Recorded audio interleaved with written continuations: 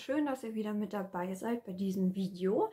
Heute habe ich ein Tauschpaket von der lieben Katharina und ich dachte, wir packen das einfach mal zusammen aus. Ich habe schon aufgeschnitten und zwar ein Lesezeichen, das ist ja lieb. Machst du sowas selber?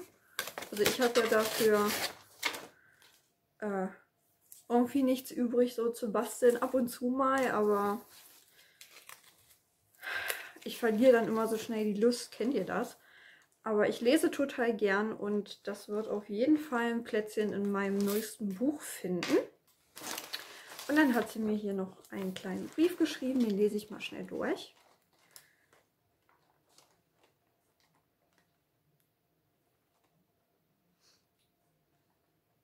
Ja, ich denke schon, dass mir das Päckchen gefällt und ähm, irgendwas Neues wird bestimmt für mich dabei sein. Ja. Hier ist ganz so viel Papier. Sorry für das Geknistere. So sieht das Paket aus. Ach Mensch, du hast mir so viele schöne Sachen eingepackt hier. Werde ich ja schon wieder, kriege ich ein schlechtes Gewissen. Ich habe immer ein schlechtes Gewissen, auch wenn die Leute sagen, äh, das Päckchen hat denen gefallen. Kennt ihr das, wenn ihr mit jemandem tauscht und ich denke mir mal, ich habe zu wenig reingepackt. Vielleicht äh, ist das nur so eine Ansicht von mir, aber ich habe das irgendwie immer. Ich weiß nicht, könnt ihr mir ja mal in die Kommentare schreiben, ob das bei euch auch so ist. Dann fangen wir einfach an, würde ich sagen. Mir fällt heute wieder alles aus der Hand, nicht wundern. Mit äh, Kinderschokolade. Mag ich sehr gerne. Die wird nicht lange überleben. Definitiv nicht. Ähm, dann haben wir hier, oh, das ist alles für meine Katze. Verschiedene Sachen. Das muss ich sehr gut wegpacken. Vielen lieben Dank. Ähm, ah, da freue ich mich mega. Meine Katze liebt sowas. Meine Katze isst gerne. Ja, sie sitzt hier unten. Dann haben wir hier Wunderland Rainbow Edition. Hält auch nicht lang. Manchmal nehme ich sowas auch mit zur Arbeit. Äh, weiß nicht, so für die Arbeitskollegen ist das ja manchmal auch ganz nett, wenn man mal was mitbringt. Und äh, da hält das definitiv nicht mal einen Tag. Dann hat sie mir eingepackt M&M's und die mag ich auch sehr gerne, die mit den ähm, Nüssen drin. Sehr lecker. Oh, da freue ich mich. Und du hast, also du hast wirklich so viel eingepackt. Das, also da musst du mir wirklich nochmal schreiben, ob ich dir nicht noch was schicken soll. Das ist ja wirklich der Wahnsinn, wie viel Goodies du eingepackt hast. Also bin ich ganz hin und weg. Tee hast du mir auf jeden Fall sehr viel eingepackt. Das ist super. Den nehme ich gerne mit zur Arbeit immer. Ähm, da macht er sich, finde ich, am besten. Ich habe auch ein ganzes Teeregal voll. So ist es ja nicht. Ne? Ihr kennt das. Dann haben wir hier so kleine Post-its und einen richtig niedlichen Bleistift. Ich weiß nicht, ob man es erkennen kann, aber da ist ein Pinguin drauf. Und hier sind dann noch so Post-its und in Katzenform. Oh Gott, wie süß, was es nicht alles gibt, ja. Also das Päckchen ist wirklich der Hammer. Dann haben wir hier noch Smarties auch immer gut. Manchmal nehme ich die auch zum Backen, vor allem wenn ich Cookies mache, sind die immer ähm, sehr, sehr gut dafür. Hier ist auch etwas Größeres drin. Du hast mir auch wohl keine Kerze eingepackt, oder? Ich weiß gar nicht, doch ich glaube, ich habe dir auch eine kleine reingepackt. Ich bin so verwirrt in letzter Zeit. Das hier ist auch mega, da freue ich mich so. So ein kleines Care-Paket ähm, mit einer Handcreme, mit einer Cremedusche, so einen kleinen Badetab mit einem Fuchs drauf. Ich liebe Füchse. Ähm, mit einer Gesichtsmaske. Oh, mega. Das ist so lieb von dir. Ich bin wirklich sprachlos. Und dann hat sie mir hier noch ein Überraschungsei und zweimal Kinderschokolade.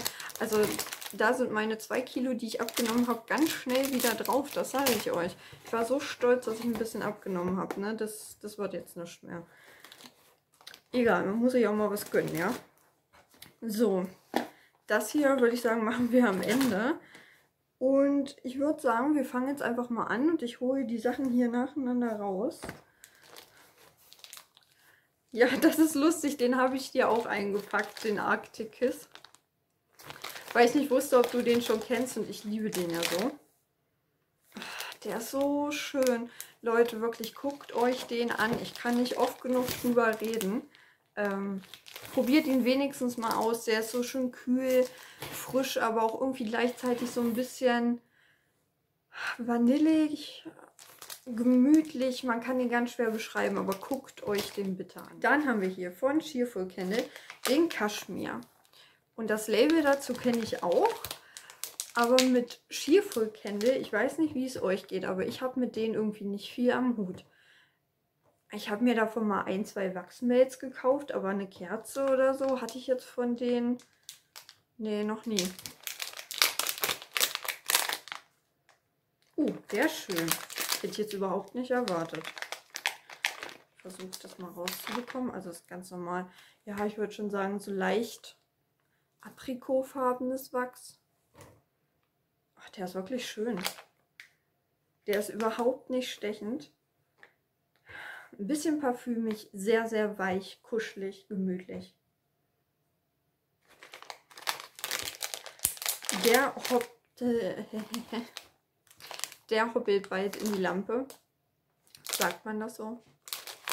Egal, der kommt bald in die Lampe und da freue ich mich auch schon drauf. Äh, der ist wirklich mal eine kleine Überraschung. Also ich wusste gar nicht, dass Skiful auch so schöne Düfte macht. Ich hatte bisher Düfte, die waren ganz okay, aber hat mich noch nicht umgehauen. Dann habe ich hier Viva Havana. Ja, und der ist so schön rauchig. Hat aber auch irgendwie was von Vanille. Ja, so richtig nach Tabak, finde ich, riecht der. Ist ein toller Duft und ist ein kleines Schätzchen. Da danke ich dir auf jeden Fall, dass du den mir vermacht hast.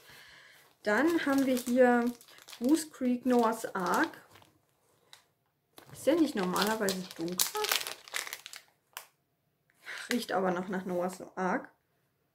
Ja, und ich finde, das ist so ein ganz besonderer Veilchenduft.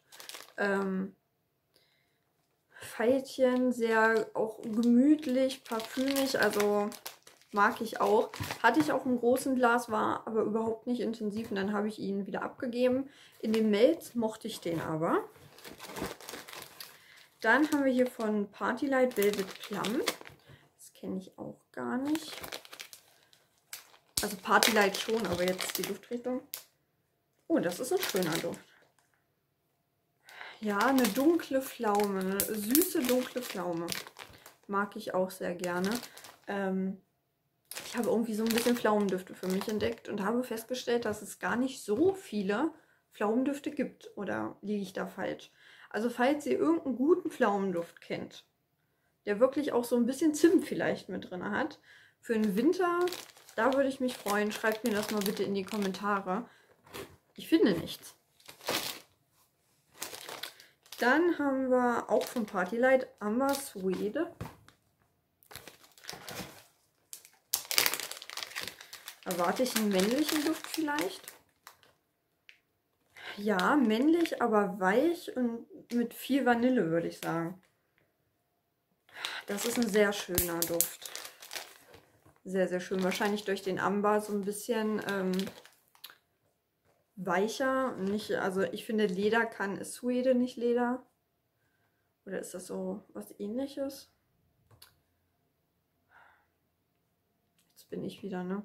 Ich weiß es gar nicht. Auf jeden Fall finde ich, hat das sonst immer so, so was Stechendes. Dann haben wir hier vorne Crossroads Southern Charm und den wollte ich auch schon immer mal probieren, habe den aber nie bestellt.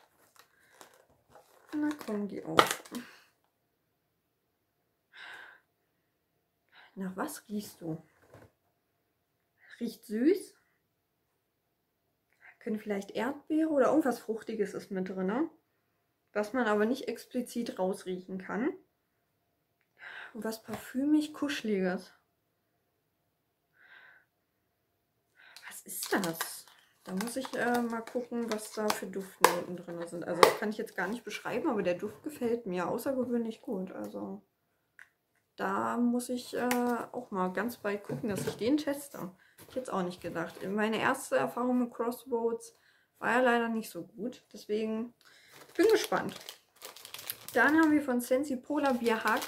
Ja, und das ist ja der Eskimo Kiss, der jetzt umbenannt wurde. Und den hatte ich auch schon mal als ein Würfelchen und ach, ja, den mag ich auch. Der geht so in die Richtung von Arctic Kiss, hat aber noch so, ich glaube Brombeermarmelade ist hier mit drin. Und das riecht man auch, dass da eine Beere drin ist, aber die ist nicht so aufdringlich. Ist aber auch eher ein frischerer Duft. Mag ich aber auch sehr gerne. Vielen lieben Dank. Dann haben wir hier von Sensi Toasted Marshmallow. Und den mag ich auch. Ich finde, der geht immer. Den hatte ich im Club, habe den aber wieder rausgemacht, weil ich fand, dass der Marshmallow Fireside von Bath Body Works sehr ähnelt.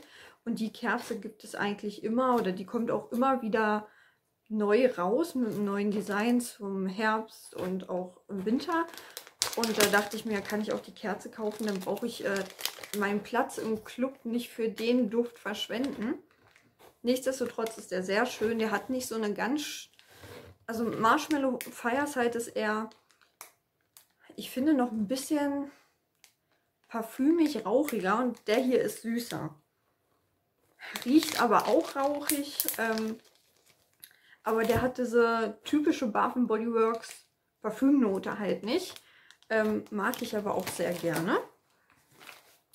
Dann haben wir hier von Miss Curly Jen Marshmallow Delight. Und von der lieben Jenny hatte ich noch nicht so viel. Ja, der riecht auch ein bisschen parfümig, finde ich. Hat aber auch einen Marshmallow-Touch. Ja, könnte man so beschreiben. Den muss ich mal warm testen. Dann haben wir hier vom Village Candle Amber Woods. Ich weiß gar nicht, ob ich den schon mal hatte. Bin ich mir jetzt gar nicht so sicher. Ist wahrscheinlich ein Waldduft. Ja.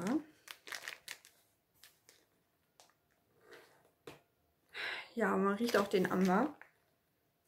Und sowas, ein bisschen was Kiefernadeliges, Blättriges.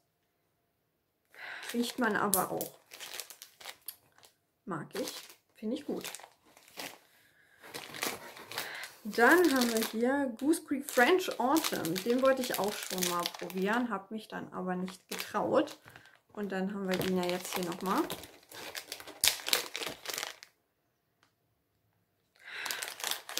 Weiß gar nicht, ob ich den damals auch als Meld hatte oder irgendwas. Aber es ist schon ein besonderer Duft.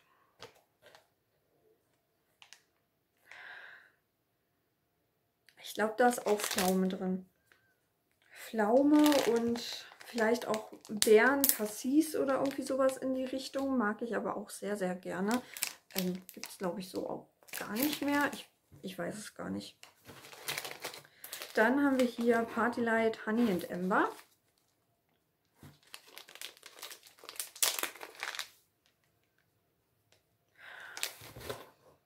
Ja, man riecht diesen süßen Honig. Der hat wirklich eine schöne Note. Ist nicht so aufdringlich. Und dann kommt so eine weiche Ambernote noch mit durch. Mag ich auch sehr, sehr gerne. Ja. So. Aufpassen, dass das hier nicht runterfällt. Dann haben wir von Wohlfühlmomente Zimtzicke. Ja, kann ich auch manchmal sein, eine Zimtzicke. Aber nur, wenn man mich ärgert. Aber es ist auch ein schöner Duft. Ich ähm, bestelle bei Wohlfühlmomente ehrlich gesagt nicht so oft meistens verpasse ich es leider oder ich finde das halt mit der Custom Order da schade, dass ähm, halt nicht jeder ein Körbchen bekommen kann. Ähm, ich meine, ich kann das aber verstehen. Ich finde es halt nur schade. Ähm, ich würde mir halt auch mal gern besondere Düfte gießen lassen und es ist halt schwierig, äh, dann da ranzukommen. Also an alle, die ein Körbchen haben, schätzt euch wirklich glücklich. Ähm, die Düfte sind einfach nur toll. Ja. Mag ich auch sehr, sehr gerne. Dann haben wir hier Traumdüfte Pink Orchid und Amber. Ja, das ist auch eine schöne, weiche Blumennote. ich persönlich finde nicht, dass Orchideen stark duften. Also jedenfalls nicht die, die ich zu Hause habe. Es ist eine sanfte, leicht parfümig kuschelige Blumennote. Finde ich, passt jetzt auch noch ganz gut. Werde ich auch noch verdüfteln. Dann haben wir hier ähm, mal was Frisches, hat sie drauf geschrieben. Island Hopping. Ja, mein Freund äh, mag den Duft auch sehr, sehr gerne. Ich wollte ihn erst in den Club packen, habe es dann aber nicht gemacht. Ja, und das ist wirklich ein schöner, frischer Duft. Also wenn der wiederkommt, würde ich mir den auch ähm, auf jeden Fall wieder kaufen. Das ist halt wirklich ein schöner, aquatischer, frischer Duft. Leicht männlich, aber nicht aufdringlich oder irgendwas.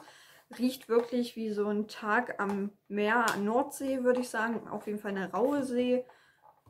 Mag ich sehr, sehr gerne. Vielen lieben, vielen lieben Dank, dass du mir das eingepackt hast. Ich verspreche mich heute den ganzen Tag. Dann haben wir Happy Melts Honey Vanilla. Und da bin ich mal gespannt. Ja, hier ist die Honignote schon im Vordergrund. Also Vanille nehme ich kaum wahr. Muss ich gucken. Für mich riecht Honig schnell muffig oder auch nach Maggi. Da muss ich ein bisschen aufpassen. Vielleicht wird das warm anders. Ansonsten schneide ich ihn erstmal vorsichtig an und gebe den Rest dann weg. Aber ich probiere es einfach mal. Und dann habe ich hier noch drei Clamshells von Sweet Moments Black Opium. Ist das nicht der Duft? Gibt es da nicht auch so einen? Ja. Stimmt. Jetzt fällt es mir ein, ich habe den auch als Parfüm zu Hause stehen. Jetzt, wo ich dran rieche. Und ähm, es riecht auch wirklich wie das Parfüm kann ich, äh, kann ich bestätigen. Dann haben wir hier einmal den Harvest Sweater. Der riecht auch schön. Der hat irgendwie, glaube ich, was Abflieges.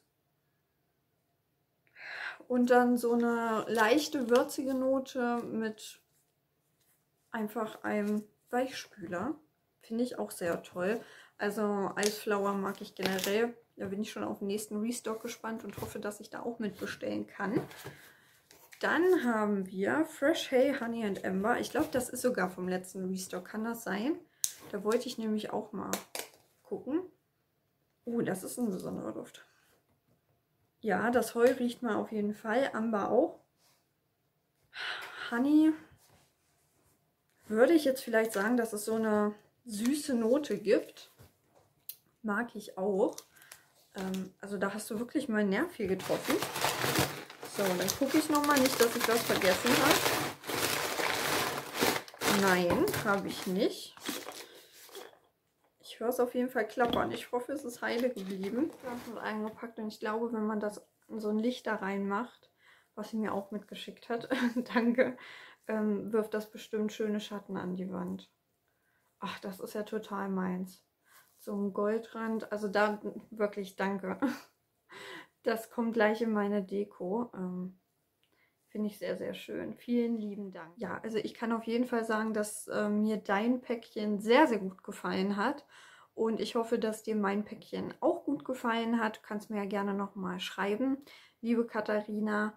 Und ja, ich äh, freue mich mega auch über die ganzen Goodies. Also da habe ich wirklich ein schlechtes Gewissen. Und ähm, ja, ich bin einfach hin und weg. Auch die Düfte sind toll.